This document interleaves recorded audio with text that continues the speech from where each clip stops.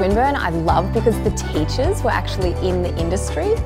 So I just felt like you could learn so much from them and the projects were really relevant and like the group assignments in Swinburne are great.